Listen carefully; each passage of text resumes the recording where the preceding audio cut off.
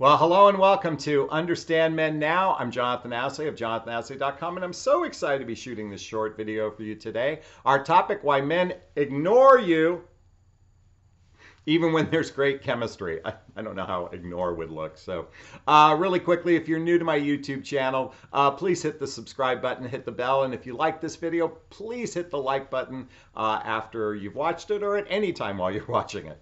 All right, we're going to talk about why men ignore women even when there's great chemistry. I'm trying to put my button on here.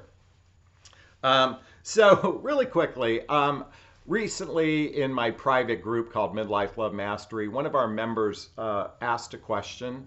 And I and we had a great dialogue in the group. I love the group because we had these great dialogues, and um, and it was on the weekend, so it was kind of fun to be able to exchange with my members. And what she asked, now I'm going off on tangent. What she asked centered around she had a great first date with a guy. She had a great first date with a guy lots of connection, affection towards each other, uh, appreciation and everything.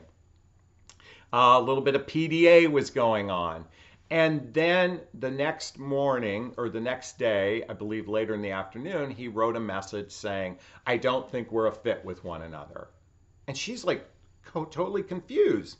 Um, she's like, What just happened here? I thought we had this great chemistry, and all of a sudden, he's ignoring me. He's disappeared. Well, he's not really ignoring. He's basically not pursuing someone. And and why I'm using the term ignore is he's basically ignoring the opportunity to pursue a relationship with her because he wasn't feeling it.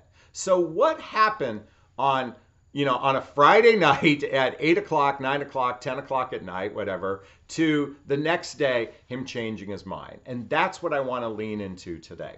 So, one of the things we have to recognize is this term called chemistry. What is chemistry? Chemistry is brain chemicals being released in our body that makes us feel good when we feel a connection for another human being. Chemicals include testosterone, estrogen, dopamine, oxytocin, serotonin. All of these chemicals are released in our brain.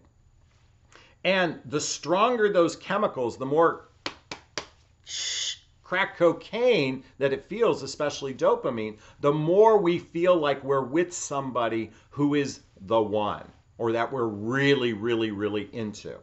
Now, we might be experiencing lust or we might be experiencing limerence, which is extreme infatuation. It's predicated, though, on all those chemicals being released in our body. Now, if you're not familiar with the work of Esther Perel, I highly recommend reading her book called Mating in Captivity. Mating in Captivity, because she talks about erotic desires.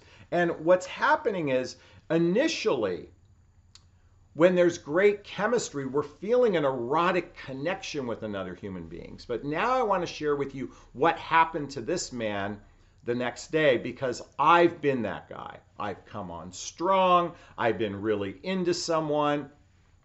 And I thought, wow, we just have this great chemistry on the first day. I mean, we spent the, I mean, I've had situations where we spent the entire night talking about how great the chemistry was. And the next morning, boom, gone.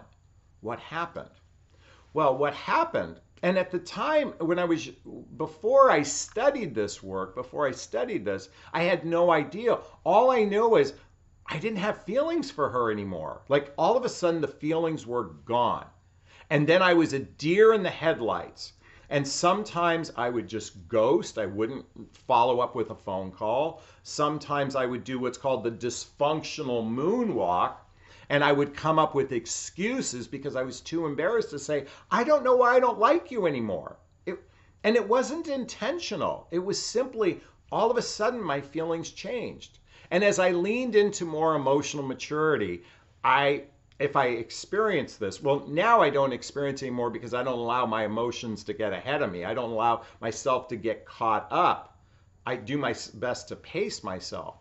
But what I appreciated about the guy who sent the message to my to my member um, is that at least he was being honorable. Something shifted, and what happened is the chemicals were no longer in his body, and he, what you were left with was the balance of the date. And for that guy, what happened was he just was in a state of confusion. He actually should have given her two or three more chances. But he was so confused, most likely, I'm, I'm, generalizing here, most likely he was so confused that the chemistry wasn't there anymore that he thought something was wrong with her. When there was nothing wrong with her. And there was nothing wrong with him. This is a natural indicate, uh, um, byproduct of the dating process. This is why dating should be done at a fairly good pace of a couple dates per week for the first few weeks, maybe one or two dates per week for the first three or four weeks so you can build time getting to know one another and start building serotonin instead of dopamine. And this has the greater chance for success in relationship. Now, many of you know, and I do this in every video, I talk about the importance of loving on oneself because here's what happens. We could judge the man for being wrong for what happened in this particular case, or we could just look at it and say, you know what? Hey, I really appreciated that he reached out. You know what? This happens. But what's most important is I'm loving on myself. This is why I highly recommend ordering my book, What the Heck is Self Love Anyway? There's a link below to my book and all the books I recommend. Why this is so important is that if it doesn't work out with a guy, that's okay. He didn't do anything wrong. He wasn't doing anything intentional. This is just a byproduct of what happens in the dating process. And this is why it's so important that we actually begin to build the friendship versus the romance in the early stages, that we actually build the friendship instead of the romance. So I'm here as a proponent that romance actually masks and confuses us. And when we can build a heart centered connection, we have a greater chance for success. And that's my invitation for you and everyone else. Because what happened with these guys that ignore you or disappear or ghost, even when you think there's great chemistry. It's just they don't know any better. They just haven't learned that this is just a cycle. This is a byproduct of what happens in the mating process.